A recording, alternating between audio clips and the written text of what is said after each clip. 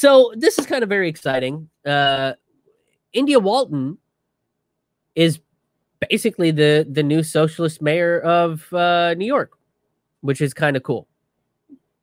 And uh, she beat the Democratic incumbent by like fifteen hundred votes.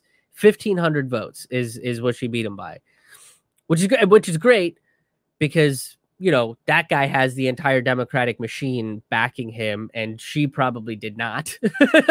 I would i would wager that anybody that comes out and says that they're socialist in any manner whether they're democratic socialist or just outright socialist like Kshama Savant over in in in uh in seattle uh is not really going to get backed by the party that uh has a president who said i beat the socialist and you know is now criminalizing socialism. Uh so that's pretty cool. I think that's really really rad so I want to kind of go down this from the socialist program. Let me light get the right spot here. Um, I want to play you guys this clip from the socialist program that was released earlier this week. Give me one second to set this up here. He kind of goes, and and I'll I'll, I'll kind of pause, and we'll we'll talk about some of the things that Brian Becker addresses uh, on on this program, and and it's this is not going to be a super long thing. It's a it's a few short minutes. Uh, so so this is him talking about infrastructure plan and the different twists and turns of this story. So, but yeah, before we, we do that, I also want to just have a big shout out and congratulations to India Walton. India Walton is a lifelong Buffalo resident. She's a worker. She's a nurse.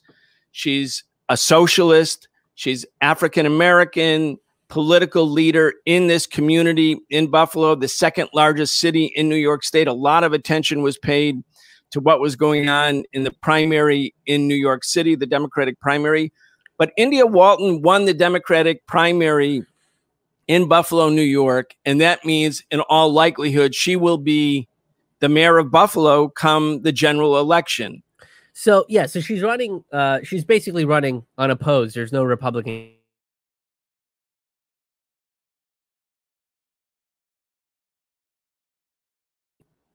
That uh, she is a African American working class nurse, Buffalo resident that has lived in Buffalo all her life. Um, she's an organizer. So this is all the things that the fucking Democratic Party loves, right? They love people of color. They love if you're from the working class. I mean, how much did they spend last year claiming that all nurses are there? There are heroes, and you know they did a completely unnecessary four hundred million dollar fucking Blue Angels display to be like, yay, nurses. And they're like, what about PPEs and maybe like healthcare? And they were like, no, but we did the thing with the with the planes. So it's it's she ticks off all the boxes, and the only one that she doesn't tick off is not a socialist. So the Democratic machine doesn't feel the need to support her. Now they are claiming that they're going to support her uh, going forward now that she has won. Right? Uh, they're they're they're like, yeah, we'll we'll uh, sure, yeah, we'll we'll back you up or whatever. Uh, so, you know, uh, which I which is how I imagine them fucking saying it. Uh, they're like, ah, it's a, uh, sure, fine, why not? Yay! Um, but she does she does check off all the boxes for the Democratic Party. But the fact that she's a, a socialist, the, the the concern I would have is if the Democratic Party and the DSA kind of sheepdog her into the into the party itself, everything she stands for will virtually become meaningless. Um, so I'm hoping that that's not the case. Obviously, uh, so I, I'm going to keep playing this here people might not know it, but the socialist movement, which is reviving now and has been reviving in the United States for the last few years, has a very long history, a very robust history, and has played a major role in American politics. And again, this history has been essentially eviscerated, extinguished, not talked about, not taught in the schools. But here we have a mayor about to become mayor of Buffalo, a socialist people might not know, but a hundred years. Well, before we get to that next part, it is it is something that isn't taught in schools. Um, I I don't remember being taught about Eugene Debs getting uh, a million votes in 1912 against Woodrow Wilson. I don't remember that. That's just not. I don't remember them talking about the international workers of the world. There was a mention of Mother Jones. Um, I'm trying to think if there was. When you talk about MLK, they talk about his work as a civil rights activist, but not as an anti-war socialist. Uh, which is hilarious because you know pro-war capitalists love to quote MLK all the time. Uh, you know, I think they quote him just by going, "I have a dream to kill all brown people across the world and steal their resources. I have a dream." As MLK, you know, like that's how they contextualize quoting MLK. Um, but yeah, they just it's it's really not taught, and and I think I think now it's you see you see laws like the laws like we talked about in the last segment because it is becoming popular and they don't know how to stop it because now kids are able to do their research on their own and go hey why the fuck isn't this in the history textbooks? Um, and i think like some of the veil um, is that the right term? The, the veil is coming off? Is that you guys get what i'm trying to say. I'm foreign. It's different. Let's keep going. You guys understand what i'm trying to say. Okay ago, at various times between 1910 and 1916, socialists controlled the municipal governments in Schenectady, New York, Reading, Pennsylvania, Milwaukee, Wisconsin, Dayton and Toledo, Ohio, Granite City, Illinois, Butte, Montana, Berkeley, California, and many other cities. The largest state chapter of the 100,000 strong Socialist Party under the leadership of Eugene Debs was in Oklahoma. Debs, the Socialist Party candidate for president, was sentenced to 10 years at hard labor at age 65 for giving a speech opposing the U.S. entrance into the war. He ran his presidential campaign from his prison cell and he won nearly a million votes. That's in 1920. That's the that's the exact same amount that he won in 1912. Uh, he ran for president several times, a- and each time he would get a little bit more, a little bit more, a little bit more, a little bit more. He took a train across the country. Uh, I think he called it the Red Express or something along those lines. Don't quote me on that, uh, but that that might be what he called it. But you know, dude was in prison, and his sentence was commuted by the way. I think he I think he was let out in 1921, 22, something like that. I might be it was it was in the 20s. I know a sentence got commuted because they overturned the Sedition Act. Uh, and by basically saying, uh, hey, this thing is crazy. do you guys do you guys know you guys wrote like a crazy law? Uh, and they were like, yeah. And they was like, do you should we not have this law because it's too crazy? They're like, probably so his sentence gets commuted, but he ran for for president while he was in prison, uh, not just advocating for worker rights, but because he was in prison, he was advocating for prisoner rights. He was advocating for a complete retooling of the prison system itself. This is in 1920. The dude's talking about this. And he wins a million votes while he was in prison. So, I mean, could you imagine? Could you imagine how well he would have done against a corporate racist Democrat candidate because the Democrats in the 20s were crazy racist. Look at Woodrow Wilson, uh, who, if he would have legitimately gone up against them, how much he would have act like I think he would have gotten probably, I don't know, maybe 15, 20% of the votes. If he was able to run an actual campaign on par with a Democrat. You could ask that same question about the Green Party today. If the Green Party is given the exact same, uh, you know, finances and advertising and all of the resources that that that both the Republicans and the Democrats get, could you imagine how well they would do? Or the Libertarian Party, or the the Socialist Alternative Party, or the SEP, or the Party for Socialism and Liberation. If they all had equal footing, think of what these parties could do. But the reason they're not is because they're blocked. Because you know, you look at the history and you look at someone like Eugene Debs and you go, wait a minute, a socialist got a million votes while he was running from prison. He got a million votes in 1912 against the popular Democrat that was backed up by the banks. He still won a million votes at that point. Well, gee, why aren't we? It seems like people want a socialist party in America. That would be the conclusion.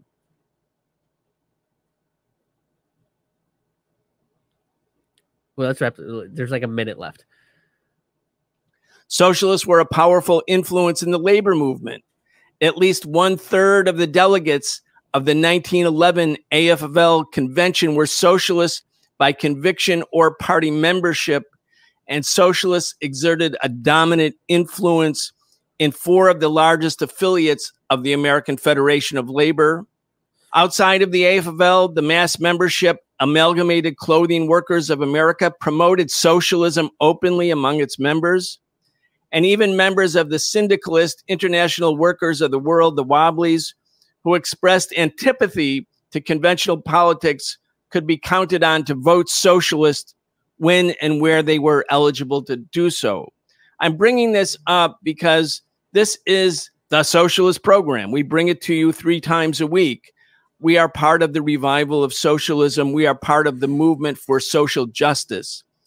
And again, it's been a terrible crime that this history of socialism in the United States has been essentially extinguished or eviscerated during the anti communist Cold War starting in 1945. Which, which is what we uh, talked about pretty extensively in the last segment. Um, yeah, so so so there you there you go. Like there is a history of this. So her victory is part of this long history of um, socialism in this country. But I wanted to look at some of her uh, issues, and I like what she does on her website. Let me, let me share that screen with you guys too so we can we can all look at it together. I like the way that she breaks it down. She breaks it down to short-term goals, near-term goals, and uh, long-term goals, right? So some of the stuff I like, uh, you know, short-term policy, remove police from responding to mental health calls and work with county and BPD leaders to establish a new crisis response mental health calls that utilize mental health professionals. Great.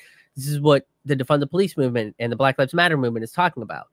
Uh, and enforcement of low level drug possession by directing police not to arrest people for simple possession of small amount of drugs and paraphernalia like syringes. This this could easily be shifted to um, you know decriminalizing drugs uh, on a large scale level and doing what Portugal does, which is providing relief uh, and and counseling and you know like if people you know treating addiction like not like it's a disease, but as a, as a response to trauma and understanding that there people need this for very specific reasons.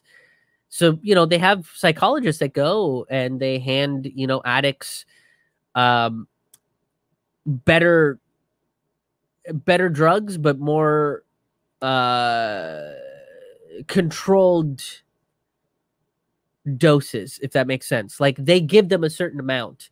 It's cleaner uh, they give them fresh needles. They collect the needles that they have used. Uh, so it's safer. They're not going to infect themselves. They're they're you know only doing a certain amount per day, uh, and that amount isn't a lethal amount. Eh, they can help people wean off. They have a methadone truck that goes to various different parts of people are weaning off of drugs. They can do that. So this can lead to that, and and I and I hope that it does. Right. Um, so I, I do like some of her her her short term goals. You know, work uh, something that's six months to a year. Work with Buffalo Common Council to amend the city charter to establish an independent oversight body with investigatory and subpoena power. Uh, that's great. Again, something that uh, the defund the police and Black Lives Matter movement have been talking about. Uh, train police officers in trauma informed care and implicit bias increase the number of trained community oriented officers, mandate unpaid leave for officers being investigated for police brutality, establish a civilian traf- uh, traffic safety division. um, to enforce routine traffic safety laws and remove police from routine enforcement. Uh, create a task force to investigate every police officer. Uh, so a lot of this stuff is basically like directly out of the the Black Lives Matter to fund the police playbook. It's stuff that we've been talking about for a long time. Um, you know, and I think if we're if you're going to retrain cops, I don't know if this is too extreme of a statement for me to make or not. I, I feel like it's not. May, maybe you, you have a different opinion, and, and if you do, that's okay. Uh, I, I think if we're going to train police officers in trauma informed care, um, you have to get rid of the old guard because the training that they have been immersed in for as long as they have is difficult to undo. So even though you have trauma training, that training is not going to be in the forefront and they see somebody with with a mental health issue and they're going to pull out their gun or taser or go, you know, uh, try to do some fucking wrestling move that ends up choking them out or something. Um so I do think that it needs to be like you got to get rid of the old guard and put the new guard in place because the old guard's old school training is going to kick in, I think, instinctively. Uh, so I want to look at her housing, some of her, her, her housing policies. A tenant bill of rights, awesome, awesome. Uh, that's something that I think tenants need, especially now, right? Now that the moratoriums are going to be lifted and people are going to be uh, kicked out. Uh, this is something landlord registration. Create a create and publicize a user-friendly online portal where tenants can type in a property address to get landlord information, including history of property violations. Uh, require LLCs to disclose contact information, addresses of interested parties, increase regulations and requirement of property maintenance agencies. So that's that's kind of great. Um, and the other thing too is creating a, a user-friendly portal where they can get landlord information is awesome because boy howdy do I wish I would have had that when I first got my apartment because my first apartment was a shithole uh, that turned out to be a building that got condemned. and it turns out my landlord has had various problems with this in the past, including two two human rights violations because it, it, he uh, he uh, uh, looked at some Chinese students that wanted to rent an apartment and he wanted to spray them with Raid because he had heard that Chinese people carry cockroaches on them. What? Uh, and if I would have had that, I would have looked that up and I would have been like, nah, I'm good, dog.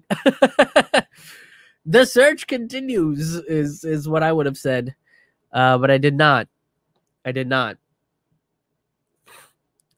Um, a lot of her stuff, like it, you know, provide one-time payment assist uh, for homeowners to get them back on track to pay their taxes, which would save many from unnecessary and devastating foreclosure a lot of her housing policies are um, are tenant focused, which I think is great because I think a lot of people's housing policies are about banking and loans, and that's not what it should be about.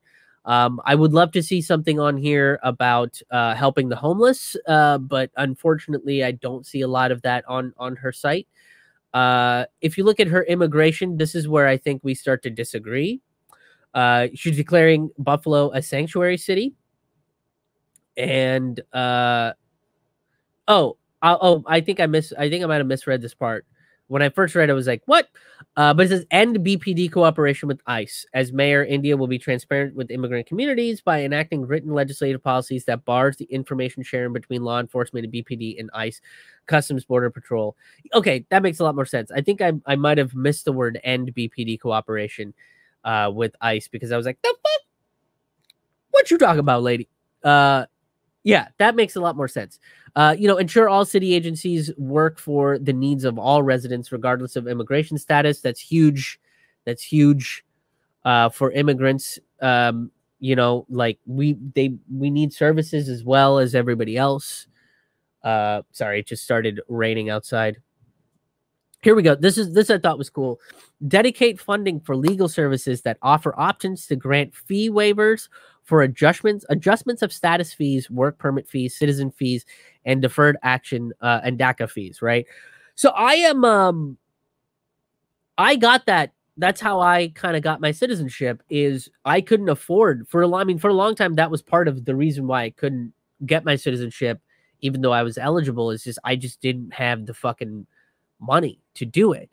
Uh, but there is a program that helps people skirt that. Basically, if you can prove that you've lived here for long enough, that you've been earning some kind of an income, um, but you're in poverty at that point in your life, uh, they will let go of that fee. So I like that she has that for work permits and DACA fees and status adjustment fees because all that shit adds up. So like people that that's the one thing people don't really know is all that shit all that shit adds up um you know because what they're told about immigrants is that they just show up and start stealing things from Americans. It's like no no no undocumented or otherwise we're not stealing shit from anybody. In fact, in order to become a legal citizen in this country, it's expensive as fuck. Whereas you just you just kind of plopped out and here you go, naturalization, you get to vote and continue to be as ignorant and unlawful as you want. Right? Like but people that are against immigration don't fucking kind of see that kind of shit. So the the uh, pointing out the financial burdens of being a citizen or, or, like going through the the immigration and citizenship process uh, I I'm glad she has that on her website. Um, my hope is that she upholds a lot of this. My hope is that she leans a little bit more into being a socialist and doesn't get co-opted by the Democratic Party uh, like AOC and Ilhan Omar and Rashida Tlaib and the squad and all those folks uh, because that's been a major disappointment to see. How it, and and the reason why I think people have been really really hard, particularly on AOC, is because she's gone back, you, you walked back away from her roots. Uh, of democratic socialism, right? I, I I would say that I'm I'm just a socialist. I don't put any sort of qualifiers around it for myself, uh, but she does, and that's okay if that's what you want to do with that. Um, but you know, it's it, that's part of the disappointment. And I'm hoping that India Walton doesn't lean down that path. Um, I do want to try to get her on my podcast. I don't really talk to a lot of politicians on my podcast, but I do want to try to get her on Taboo Table Talk and uh and and and you know see what uh what she says. Um so uh let me look at your comments. Cynical girl, welcome to the stream. Just Q co-opt. yeah yeah, I'm I'm really hoping that I, I you know eh, she's she's she's a mayoral candidate, and I'm hoping that that is somewhat of a small enough um, office that the Democrats try not to fuck with her. Plus, it's Buffalo, and I don't really see the Democrats like trying to be in Buffalo. Not that Buffalo isn't a great city. I love Buffalo. Um, obviously haven't been there in quite some time. But the last time I was there was it was a really fun show. Uh and uh I like the city, but you know, it's it's a Rust Belt town. That's not where Democrats are going. That's not where they can do their large fucking fundraisers and shit. So I'm hoping they kind of just let her do what she needs to do and this becomes a trend. This becomes a trend that we start seeing. That we start seeing actual fucking socialists start running against the corporate Democrats. Um, we have a new mayor in Pittsburgh, and I, will be honest, I did, I just don't know enough about Ed Gainey to to say whether I like him or not. But you know, we have this is like the first black mayor in Pittsburgh, so that's kind of huge. Uh, I hope that he doesn't turn out to be a Democratic shill. Um, and and part of the thing for me is I got to do my homework on the guy. Uh, we got one more comment from Brian. Brian says, I'm interested in learning more about treating mental illness as a response to trauma. Uh, Brian, if you look up Gabor Mate, he talks about this a lot, but basically what he says is you can you can look at addiction and a lot of mental health stuff as responses to trauma. Addiction specifically becomes a response to trauma. So if we look at it in that sense, uh, we can reframe the criminal justice system so that it doesn't imprison these people, further inducing more trauma on them, and then further and then further having them to go seek alcohol or drugs or various different types of addiction as a response to dealing with that trauma. Uh, and I think, I mean, I th- just, just, and that's very, that's me being very basic about, uh, about that. Uh, but Gabor Mate is is sort of the leading guy to talk about that, and and you know, there I don't agree with him hundred percent of the time, but he's pretty solid um, on on those sorts of things. So yeah, I would I would look him up. Uh, I'll put it in the comment section.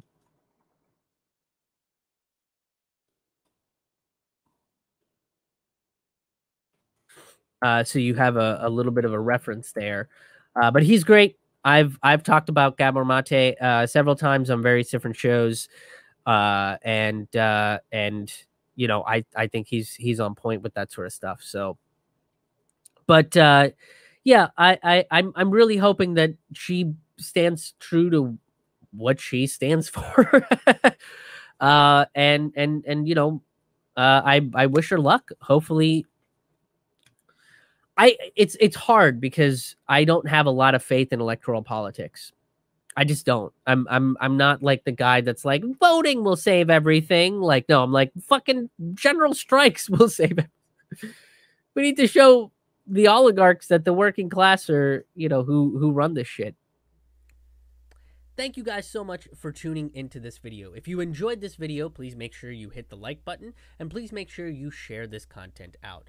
Sharing is very important. Sharing is how independent media gets the word out there about topics that corporate media doesn't even want to mention on their networks. So it's really up to you guys. Corporate media very much depends on the people. We are people powered media. That's what we really are.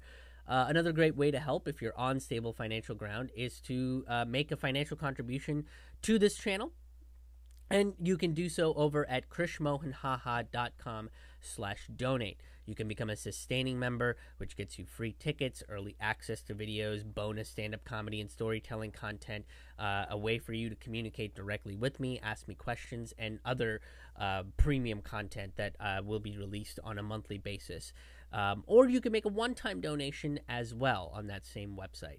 Um, I also have uh, various stand up comedy albums. I have about six comedy albums out right now uh, that are available on my website at krishmohanhaha.com. And most of them, if you get them off of Bandcamp, are available for a dollar or a, a pay what you want pricing. And I also want to mention that I do have an online merch store. Uh, you can go to my website, krishmohanhaha.com, click on the merch tab, and check out all of the designs that I've made myself. And the Julian Assange shirt, there is a Julian Assange shirt that's on the website. All the profit from the Julian Assange designs will be going to uh, pro Assange activists such as Action for Assange, uh, Kevin Gosztola, Richard Medhurst, folks uh, uh, uh, that, that are covering and talking about Assange. So I'm going to be making donations to them. Um, uh, it'll be 100% of the profits I make off of that shirt. Uh, thank you again for tuning in. Thank you again to all the people that have made contributions to the show, that regularly check out my content, that have subscribed to my channels. I very, very much appreciate it, and uh, and you guys help keep this uh, keep keep this this train a moving. So I, I very much appreciate that. Until the next video, we'll see you on the road. See you guys.